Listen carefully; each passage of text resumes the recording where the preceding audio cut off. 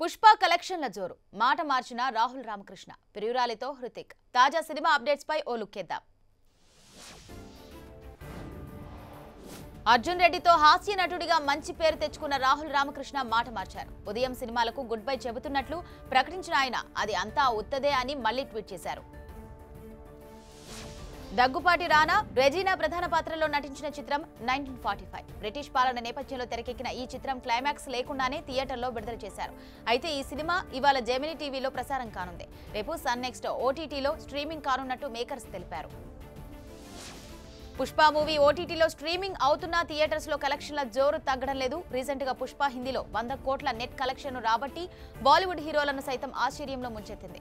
ఈ యాభై రోజుల్లో మూడు వందల అరవై ఐదు కోట్ల గ్రాస్ కలెక్షన్ను వసూలు చేసి రికార్డు సృష్టించింది. వైవిధ్య భరిత సినిమాలో నటిస్తూ తనకంటూ ప్రత్యేక స్థానాన్ని ఏర్పరచుకున్న నటుడు కిరణ్ అభవరం. ప్రస్తుతం ఆయన నటిస్తున్న చిత్రం Sebastian PC five twenty four. ఈ చిత్రానికి సంబంధించిన ట్రైలర్ను మేకర్స్ విడుదల చేశారు. అరణ్యతో తెలుగు ప్రేక్షకులకు సుపరిచితులైన నటుడు విష్ణు విశాల్. ప్రస్తుతం ఆయన ప్రధాన పాత్రలో నటించిన కోలీవుడ్ చిత్రం ఎఫ్ఐఆర్. తెలుగులోనూ ఈ మూవీని విడుదల చేయనున్నారు. తాజాగా ఈ సినిమా ప్రీ రిలీజ్ వేడుకలు చెన్నైలో జరిగాయి.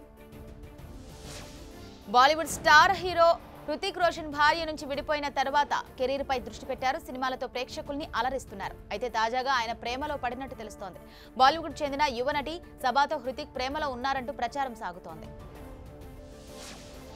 సంతోష్ శోభన్ రాశి సింగ్ కృష్ణ చైతన్య రుచిత కీలక పాత్రదారులుగా అభిషేక్ మహర్షి దర్శకత్వం వహిస్తున్న చిత్రం ప్రేమకుమార్ శివప్రసాద్ పన్నీర్ నిర్మాత ఎస్ అనంత శ్రీకర సంగీతం అందించిన ఈ చిత్రంలో తొలిపాట నీలాంబరం చూసి నీ కళలో అంటూ సాగే పాటను విడుదల చేశారు.